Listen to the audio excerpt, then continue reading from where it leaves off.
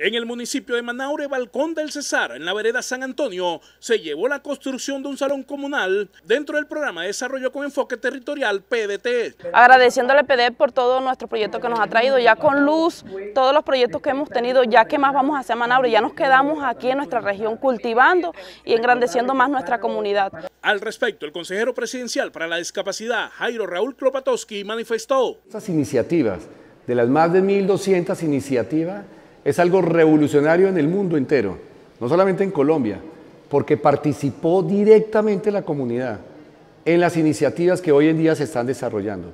Pero esas iniciativas que se están desarrollando las están construyendo los mismos integrantes de las mismas comunidades. Luego es algo, es algo grande que sale de la propia comunidad y la propia comunidad está construyendo ese municipio que ellos mismos proyectaron a 10 años. La comunidad internacional hizo presencia con la embajadora de Suiza, Yvonne Baumann. Me parece muy importante esta iniciativa de PD de trabajar junto con la gente, la comunidad, en desarrollar eh, eh, obras de, desarrollo para mejorar la calidad de vida en las eh, regiones que han sido más afectadas por la violencia y por la pobreza. El proyecto Salón Comunal fue presentado por Diomar Ortega, presidente de la Junta de Acción Comunal de la Vereda San Antonio. Es satisfactorio en realidad contar con tantos personajes aquí presentes, dos alcaldes hoy acá, delegaciones de diferentes partes. Es un orgullo, de verdad que sí, es un orgullo.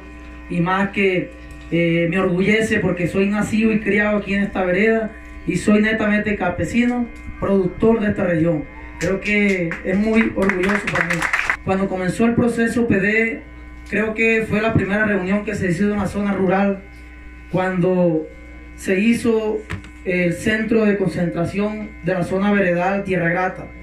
Aquí se les hizo la invitación por primera vez para ver qué nos traían en estos procesos y en realidad creí en ese proceso, creímos toda la comunidad de lo que se hizo.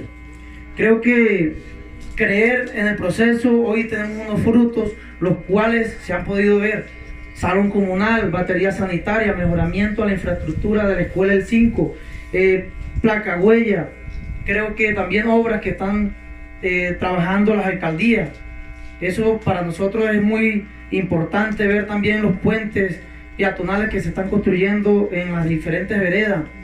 Una escuela nueva en Nicaragua, algo que lo necesitaba eh, urgente por, la necesidad que tenían esos niños. Creo que eh, trabajar de la mano con el alcalde, eh, de la mano con la comunidad y de diferentes entidades como es la RT, creo que nos enseñó, nos enseñó totalmente a que tenemos que confiar en el gobierno nacional